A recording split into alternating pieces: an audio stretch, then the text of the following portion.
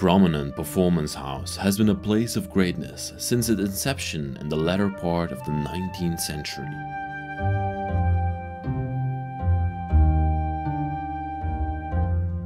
The theater is located in a fairly small town in the northern part of the country. Considering the size of the town and its remoteness, it still had some great impact on the surrounding area, and numerous famous musicians and orchestras played performed here over its lifetime. One of the most influential and famous ones was Giacomo Puccini. The Art Nouveau building acted as a centerpiece of the town. It was an impressive masterpiece in its heyday, plastered in gold moldings, grafted artworks and beautiful upholstery.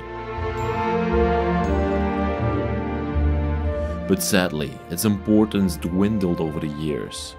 Bigger theaters and more populous cities took over its role, and after having changed hands between multiple owners, it was bought again by the township who made plans for renovations in the early 1970s. These plans were completely drafted, but sadly the execution of these plans never came to fruition. 50 years have passed. The building is slowly withering with time, and pieces are falling apart.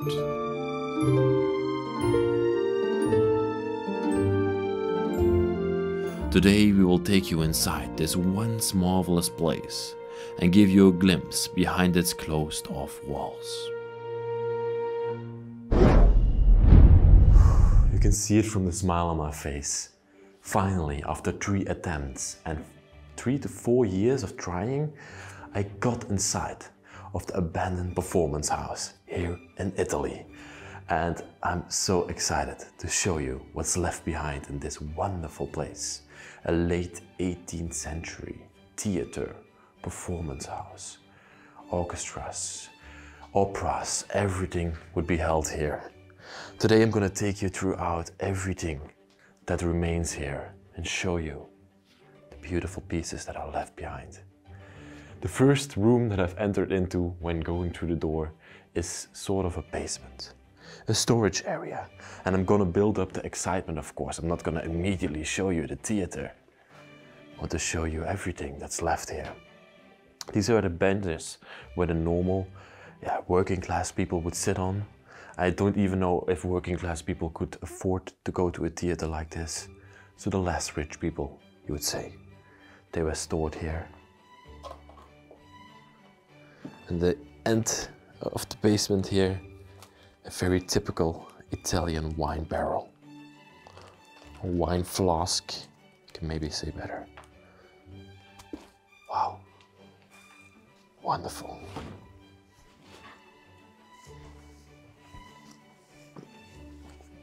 Even still, a bottle of Fino left behind, but it's completely empty. And I think this would be the oven to heat up or the heater for the building. Yeah, you can see it from this side. Here it would be fueled. You have the chimney over there. And the building would be heated with this heater. Okay, let's go back into the entrance hall. And here all the spectators would come inside of the building. And the first thing that they would do is would go to the ticket booth that we have right in front of us here. Two clerks would be at work giving out the tickets, letting people pay. You could come through here. And right behind here, you would order your ticket for the play. Isn't that just wonderful, everybody? Wow. Come over here, have a look behind. Most people have never seen something like this, so it's quite special. There's also room to this side. Okay. Here behind the desk, that leads into another part of the basement. There's not that much to see here either. Just some heating pipes, but that's it. From the construction equipment that's in here, you can see that they are trying to preserve Maybe even renovate this abandoned theater. Some cables in here hold up the building and some other construction equipment. But it will take decades before this place can be reopened to the public. Or maybe even never, because it costs millions of euros and Italy is not in the best financial position to do something like this.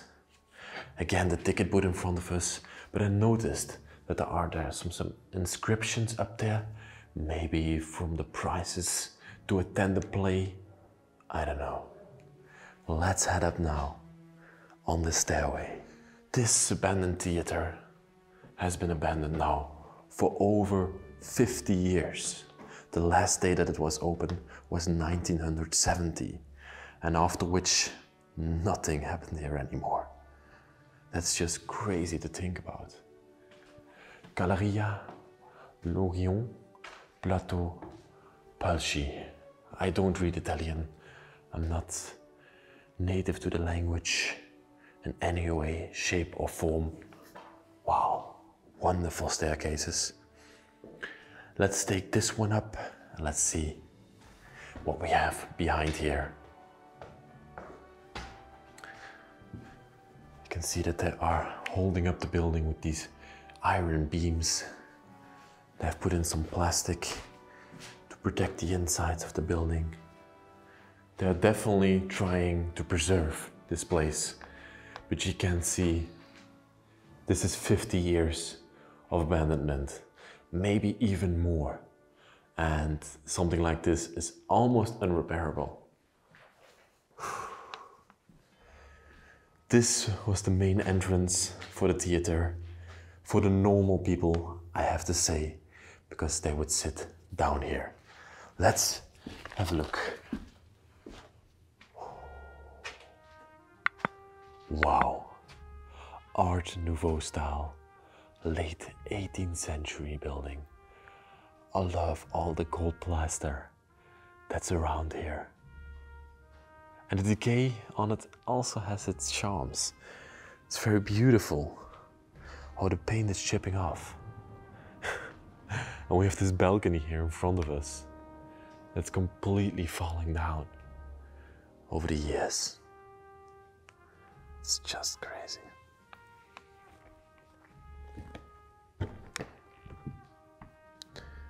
This section of the theater would be completely filled with these kinds of benches that we see to the left there. All the rubble is falling on the floor and crumbling away. Oh, when you're standing down here, you have to look up. You have to look at every single detail in here. And here, right behind me, we have the special VIP booths where the wealthy people would sit in their private cocoon, probably also served by servants. Bring their, they brought them drinks and everything. Okay, let's first go over this very unstable part and show you where the performance would be. Okay, there's a little step here that I can take. Okay. Wow. Everything is made from wood. I quite love it. Little door here that we can go through. Oh, and then we come into this part. Underneath my feet, there is a big pile of rubble. If we look closer, it's all roof tile. And that's due to the whole ceiling, whole roof just collapsing over the years. But now they put in this metal roof to protect the theater from its downfall. And luckily they did so because it's still in a relative okay. No, I shouldn't say it's, it's decaying, but I think it wouldn't be here anymore if the roof hadn't been fixed. I want to show you the stage from up close as well. But it's a very difficult endeavor to go there. Oh. probably everybody is sweating right now behind their computer, seeing me walking over these broken beams. And right in front of me here, we have this pit. And you call this the orchestra pit because the orchestra of the play would be in here and the lead would be standing up there. Uh, of course, there were no speakers, no electronic speakers. Sounds couldn't be produced, so they had to be made all in house. And right in front of us here, the play would happen. Oh, wow. Let's go a bit further. Let me also show you the back. All the actors and performers would be back here. I think there would have also been a wall separating this area from the stage itself.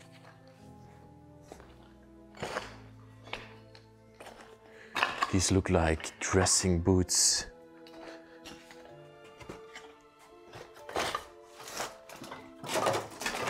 There's not much to see in here. Here the actors would dress up, dress up to start their play. Yes, I think I can get a representation of how it looked. We have this light fixture, a fixed fixture up here, and there would be a mirror against the wall. And the actor would be sitting here in front of this desk, preparing for the play. Even have a few coat hangers and an inscription on the wall. Vietato fumare. Oh, this means no smoking. Wow, from back then. So there was no smoking allowed in this changing room. Fumare. That's a similar word to French. Fumer and fumare is Italian. Wow. I love the view of the stage from over here. Back over the rubble. Have a little washing table over here and some more dressing rooms. Incredible, everybody. The only thing that I'm wondering about is this booth over here, or this doorway that leads into this hole right underneath the stage. I think it is some sort of a whispering booth where somebody could sit inside, and if one of the actors didn't remember his lines, he could just shout it to him or just whisper it to him, not shout, because then the spectators could know that he was cheating. Okay, lovely. Let's go back, back through the rubble. Oh, so much things. We even have this cartwheel, wooden cartwheel down here. And you can also see the electricity panel for the play would be here. Okay, there's even a stairway to this side. I actually want to take it, but well, it's very unstable. Oh, let me try to climb up here. Sometimes I ask myself the question, why do I do all these stupid things? But yeah, it's just I want to document these abandoned places and I want to bring them to the internet forever. And that's why I try for four years to get inside of an abandoned place. And I sort of risk my life to go over these barely even walkable anymore wooden beams and stuff like that. There are some children's toys in here as well. Okay, where do we end up? If we go outside, okay. back up on the stairway.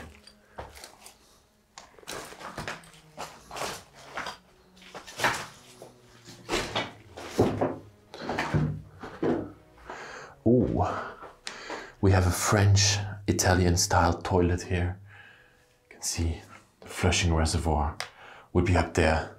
So this would be the toilet for the spectators.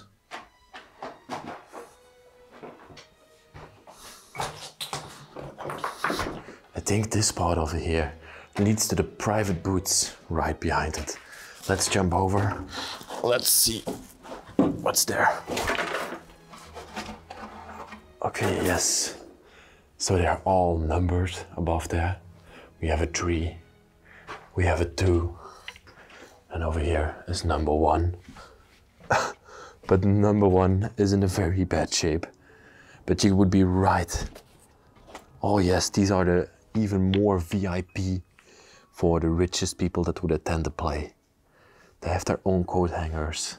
Their booth would be painted red. And they could, I can see if I can stand on here. They would be right at the stage looking at the performers. This is the best blazon house and would cost the most. Wonderful to see.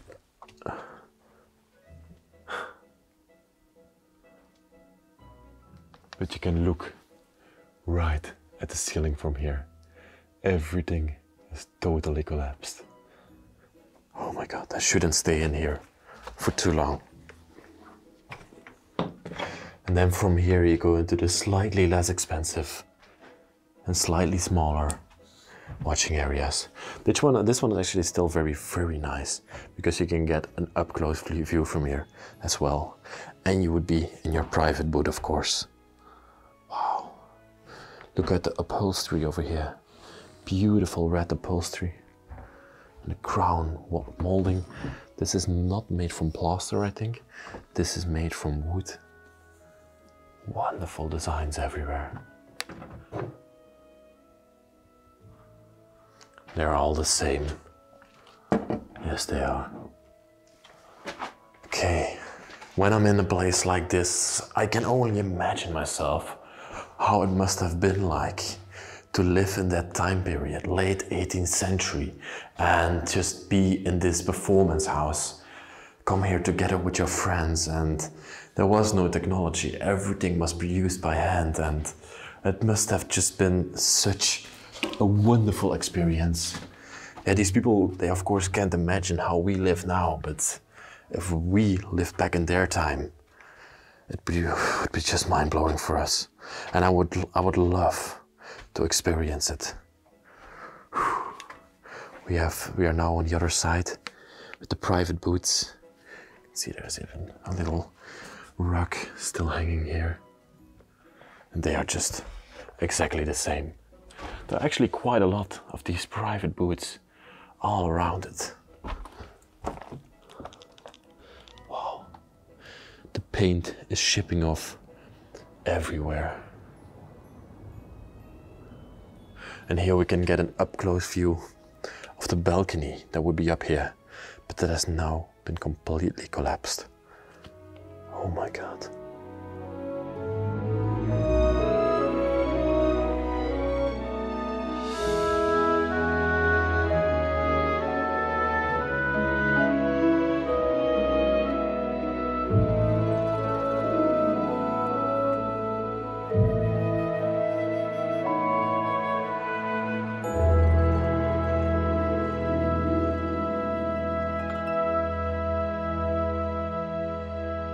Let's now take the stairway to a higher floor inside of this place.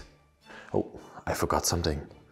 Wow, there's also some sort of a basement hallway here. It has an inscription up there. Ingresso a la pol poltron? Not sure. Wow, all the benches have been taken out and they have been placed right here in this basement. Look at how many there are. Incredible.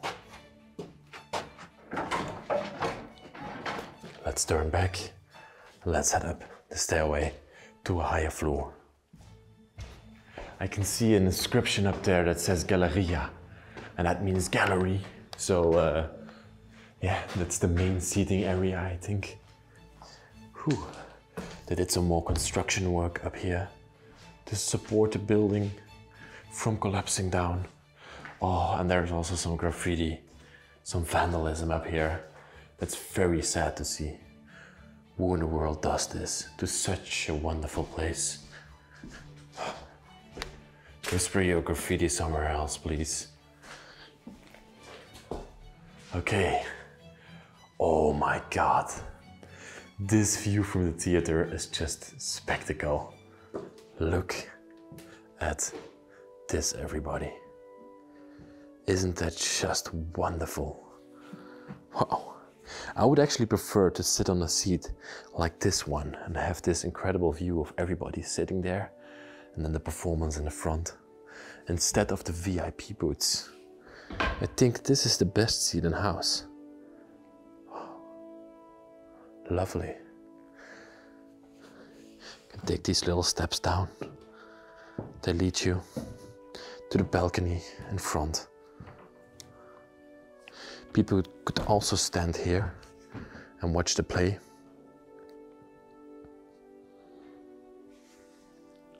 But that now has completely collapsed. Let's take a look at the seating. Wow. Every single seat is numbered 31, 30. They're all collapsible like that. They're all stuck now. Even this part is now falling apart and waiting for nature to take over. You can see over here that they completely drilled a hole in the wall to place the stud through and then they attached it to the to the stone that's down here. Crazy. But now the building stays up and I really like that. Okay, I think there's one last floor to show you all. So let's go up there right now and let's see. Oh, but this is not the last floor. These are, these are just some more private booths that we have over here. Of course, I'm gonna show you, show them to you. Oh, we already have number 35 over here. So there are many of these private booths.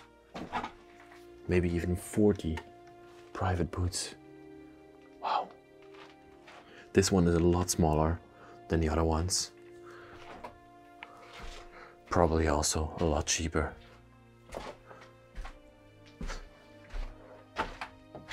Lovely. Wow. And over here, the most expensive boots have all collapsed over the years.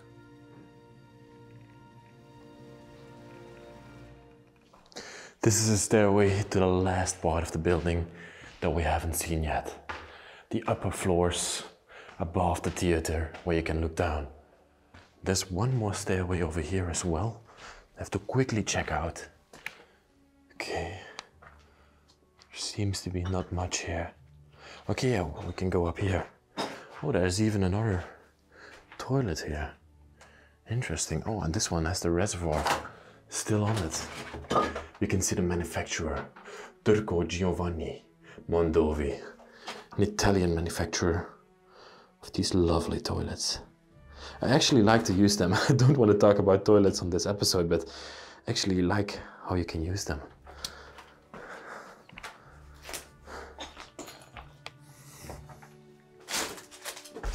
Okay, and here we come to the upper floor.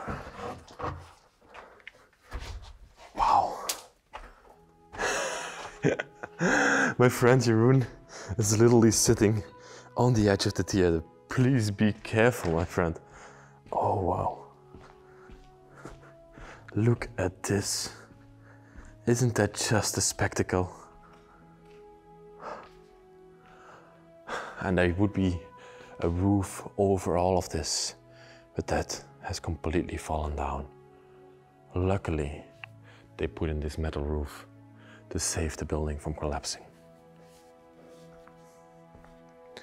I want to have a closer look at this plaster molding, this gold plated plaster molding that we have over here. The arch above the theater. You can see some musical manuscripts and some trumpets, and in the middle of it, they have this harp, harp shape.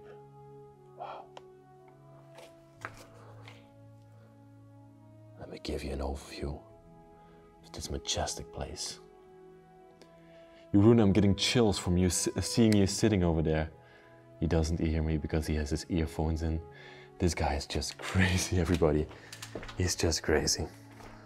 On the upper floor over here, we also have this enormous window, and this overlooks the valley that's right behind this theater. Or here, the window is broken, so you can get a glimpse this wonderful Italian town that we are in right now. It's just majestic. Okay, I think it's time to go down and find the way out of this place because that's going to be as hard as getting in. Let's try that out. I see Jeroen already laughing. An exit right there, that. Yeah, I'm gonna show you.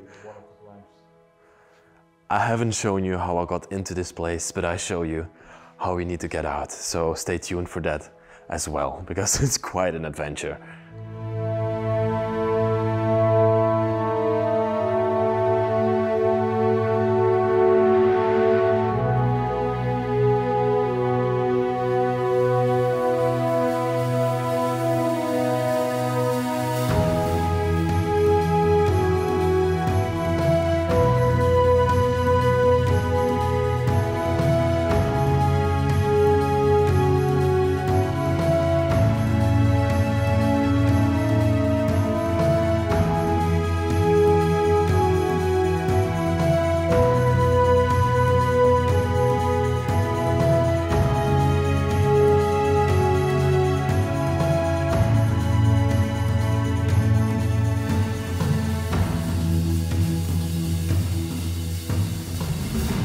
Okay, everybody, it's time to go outside right now. And this is gonna be quite a challenge. So I want to include all these things into my videos so you can see the whole process of exploring an abandoned place like this. You still know the way out, Jeroen? It's here to the right. Then we have to go up.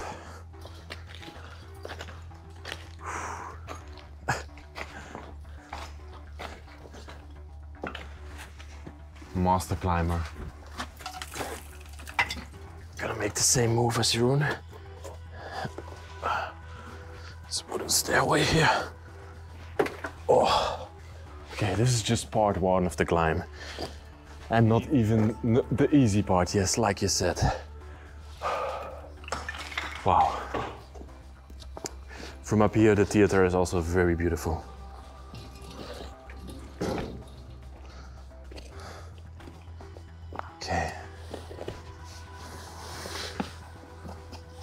Then we have to make our way through this narrow doorway. Okay, I'll hold your back.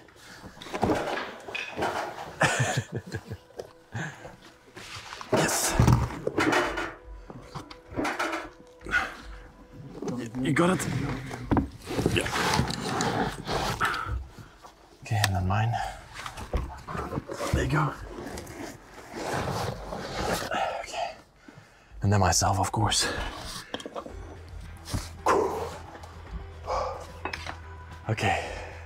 Out. Not yet. we're like 25% out right now.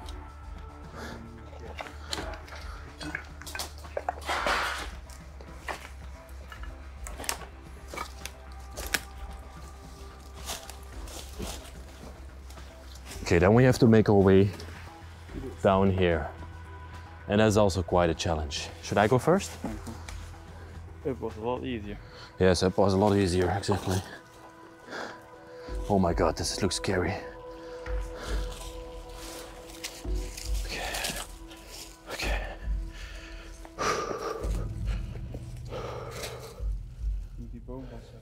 Yeah. Okay, this this tree trunk is pretty sturdy, so that helps a lot. Oh my god, I'm standing here on this little wooden beam down here, and that supports my whole weight. Yes, I'm going. Okay. Okay, I managed. Come on. Yes, there you go, guys. and now it's Jeroen's try.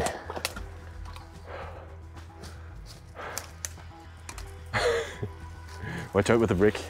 Ja, die is los. die- Yeah.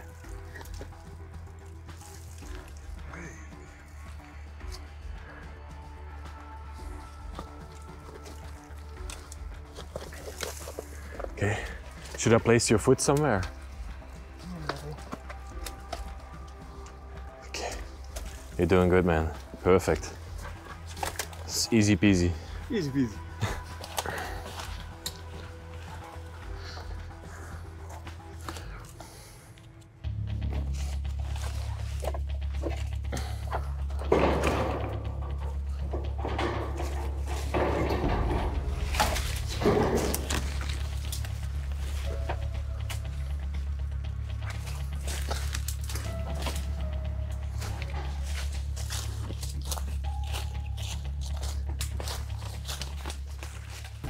This is one of the doors that lead to the street, but it's completely blocked. And I think it's not possible to go through. Now we have this over here, this hole in the wall where you have to go through. Okay. Okay. You climbing through the hole looks really cool. Yeah? Yeah, definitely does. Okay, final stretch.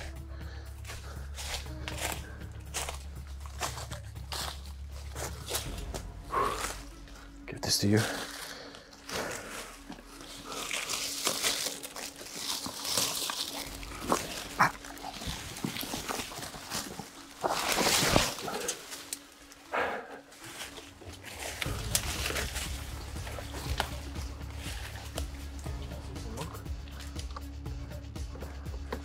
Pull this down. Oh my god.